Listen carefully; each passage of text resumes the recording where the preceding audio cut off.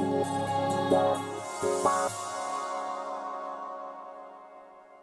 Good morning Pilipinas! Nagbabalik pa ang Panahon TV. Kung itatanong mo naman kung uulan pa rin ba sa iyong lugar, alamin natin ang lagay ng panahon at agwat ng temperatura sa iba't ibang bahagi ng bansa.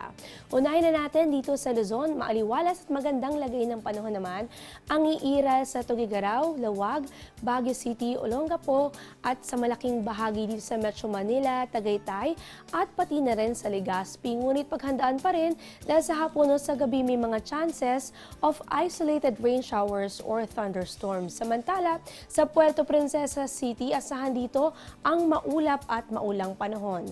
Asahan ang temperatura between 26 hanggang sa 30 degrees Celsius. Isunod naman natin itong bahagi ng Visayas.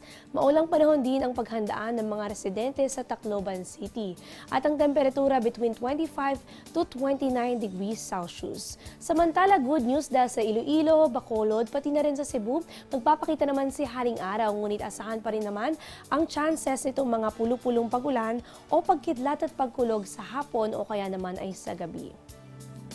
Lastly naman dito sa bahagi ng Mindanao, may mga kaulapan dito sa bahagi ng Cagayan de Oro at pati na rin sa Davao kaya asahan dito ang maulap na kalangitan na magdadala ng mga pag-ulan at may kasamang pagkidlat at pagkulog. Magdoble ingat dahil bigla ang pagbuhos ng malalakas sa mga pag-ulan ay posibleng magdulot ng pagbaha at pagguho ng lupa. Samantala kabaligtaran naman ang panahong iiral sa Zamboanga City kung saan asahan dito ang generally fair weather condition. Magpapakita si Haring araw ngunit may mga tsansa pa rin naman itong mga pulo-pulong pag-ulan o pagkidlat at pagkulog. Dahil madalas bisitahin ng bagyo ang Pilipinas, bukod sa mga buhay na nasawi, kakambal din ito ang pagkawasak sa libu-libong mga tirahan. Ang paglikha sa disaster resilient houses ay dapat na binibigyang pansin dito sa ating bansa. May solusyon na kaya dito? Narito ang ulat ni Cathy San Gabriel.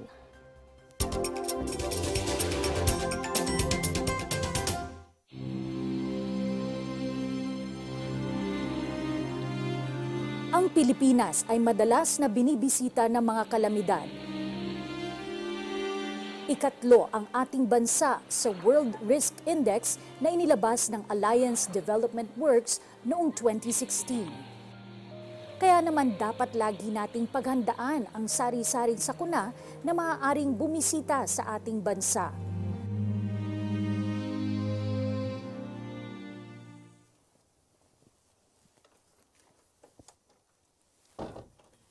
Dito sa Herona Tarlac ay may itinayong earthen houses na hindi madaling masira ng mga bagyo o lindol.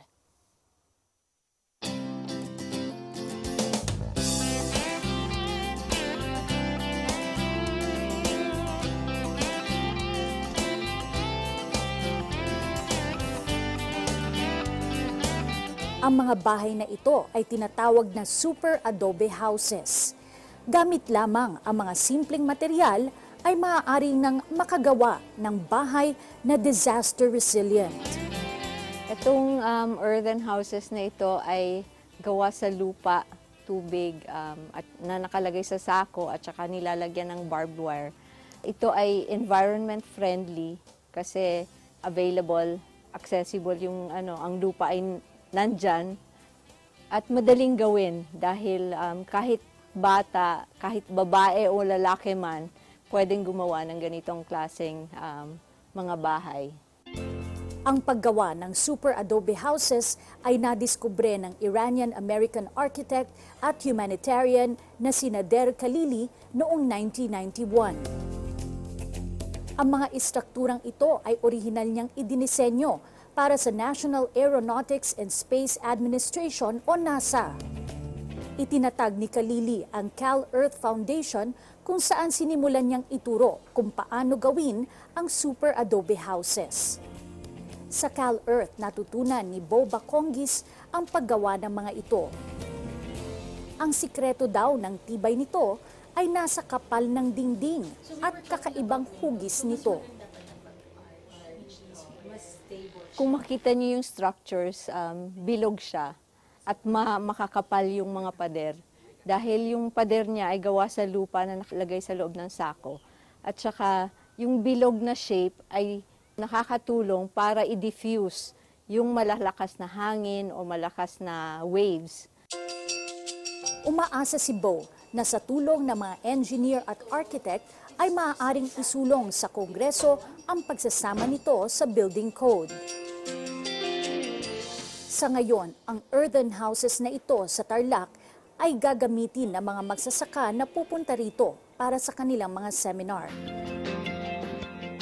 Nakakatulong po siya sa mga farmers namin dahil ito po ay matibay. Matibay po siya sa bagyo at lindol. Ang pagkakagawa po nito ay para po sa mga farmers. At malaki po ang may tutulong ng structure na ito para ma- magkaroon po sila ng pagsisilungan, ma'am. Marami ng super adobe houses ang naitayo sa iba't ibang bansa tulad ng Amerika, Mexico, Colombia at iba pa. Tila napapanahon ng gawin ito sa ating bansa na tila suki na ng mga bagyo at lindol. Patunay ito na ang kalikasan, bagamat nagdadala ng panganib, ay maaari ring maging kasangga pagdating sa kaligtasan.